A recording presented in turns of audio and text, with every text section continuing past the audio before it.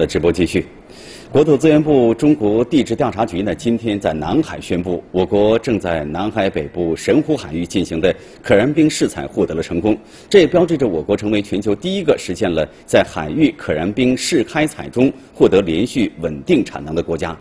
可燃冰学名天然气水合物，是一种高效清洁、储量巨大的新的能源。我现在所在这个位置呢，就是我国南海北部的神湖海域，也是我国正在进行的首次可燃冰的试开采现场。我们看这个正在持续不断燃烧的火焰啊，它就是现在正在从一千多米的水深以下分解提取上来的可燃冰所产生的甲烷气体。这也标志着我国首次可燃冰试开采得到了成功。同时，这次成功也是世界上。对于此种类别的可燃冰的第一次试开采成功。南海北部神湖海域的天然气水合物试开采现场距香港约二百八十五公里，采气点位于水深一千二百六十六米、海底以下二百米的海床中。自五月十号正式出气至今，已累计产出超十二万立方米、甲烷含量高达百分之九十九点五的天然气，实现连续超一周的稳定产气。标志着我国进行的首次天然气水合物试采宣告成功。我们从这个五月十号正式出气试点火成功，到目前为止呢，我们已经连续开采了八天了，每天的日产全部超过了这个一万方以上，最高日产达到了三点五万方，这个这样我们已经达到了我们原来预定的目标。可燃冰是由天然气和水在高压低温的条件下形成的类冰状的结晶化合物，预测资源量相当于已发现煤、石油、天然气等化石能源的两倍以上，是世界公认的一种清洁高效的未来替代能源。因绝大部分埋藏于海底，所以开采难度十分巨大。目前，日本、加拿大等国都在加紧对这种未来能源进行试开采尝试，但都因种种原因未能实现或未达到连续产气的预定目标。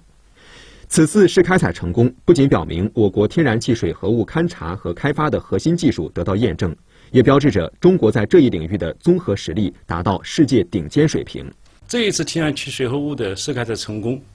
啊，我们是优先抢占了理论和技术高地。啊，实现了我国在天然气学物开发上的啊领跑，它将会是啊这个继美国页岩气革命之后的啊我国引领的天然气学物革命，啊将会推动整个世界能源利用格局的改变。日均稳定产气超过了一万方，以及持续超一周的连续产气的时间，这两个指标在之前还没有一个国家能够成功的实现。而完成这一历史性的飞跃，我国的科学家们又是如何做到的呢？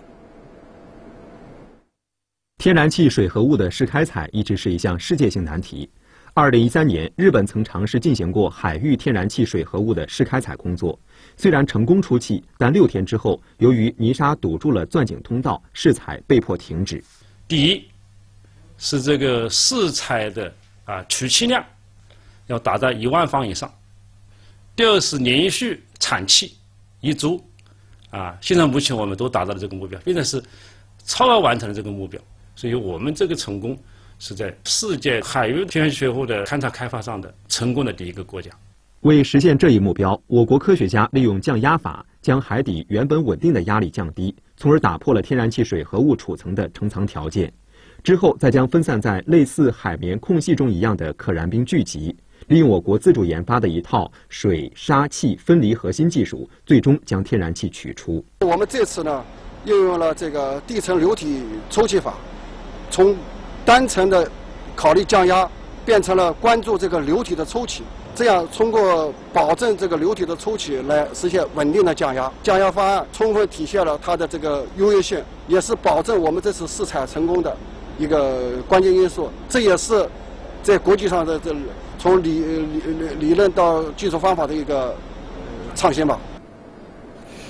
我国实现了首次成功试开采可燃冰，这也标志着我国可燃冰的勘探工作进入到了一个崭新的发展阶段，甚至有望改变全球能源供应的格局。那可燃冰这么至关重要的一个战略能源，到底长什么样呢？它外形似冰，那为何又可以燃烧呢？让我们呀，通过记者的镜头去认识一下这个神奇的新能源。可燃冰，也就是我们所说的天然气水合物，就是由天然气和水在高压低温的条件下形成的类冰状的结晶化合物。从外形上看上去，可燃冰就像是白色或浅灰色的冰雪晶体。这时候如果有火源，它就可以像固体酒精一样被点燃，所以被称为可燃冰。如果将同等体积的固体酒精和可燃冰同时点燃，可燃冰的燃烧时间远远长于同体积的固体酒精。可燃冰就像变形金刚中机器人争夺的能量块，占用体积小，蕴含的能量却不可估量。事实上，一立方米可燃冰可以分解释放出一百六十立方米以上的天然气。中国这个海域天然气水合物，我们现在基本预测资源量啊，要达到八百亿吨油当量啊，所以这个是非常有具有潜力的啊，相当可观的，是短期内可以接替常规油气资源的。一种这个清洁能源。据估算，在世界各大洋中，可燃冰总资源量大约相当于全球已知煤、石油和天然气总储量的两倍。储量巨大、高效清洁、燃烧值高等特点，使得可燃冰被誉为二十一世纪最具商业开发前景的绿色清洁战略能源，也成为各国竞相研究开发的热点。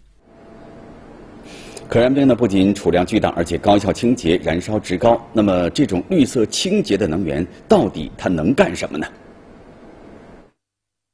可燃冰是天然气和水结合在一起的固体化合物，外形与冰相似。由于含有大量甲烷等可燃气体，因此极易燃烧。同等条件下，可燃冰燃烧产生的能量比煤、石油、天然气要多出数十倍。而且燃烧后不产生任何残渣和废气，避免了最让人们头疼的污染问题。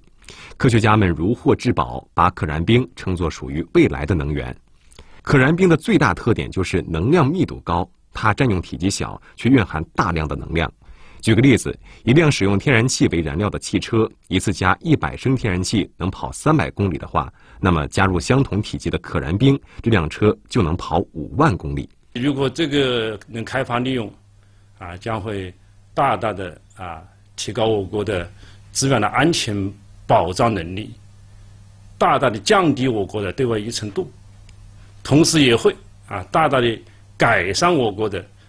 能源资源结构。可燃冰使用前景广阔，但同时也存在风险。据估算，全球海底可燃冰的甲烷总量大约是地球大气中甲烷总量的三千倍。如果开采不慎，导致甲烷气体的大量泄漏，将可能引发强烈的温室效应。如何安全经济的开采可燃冰，并且从中分离出甲烷气体，依然是目前各国研究和利用可燃冰的核心难题。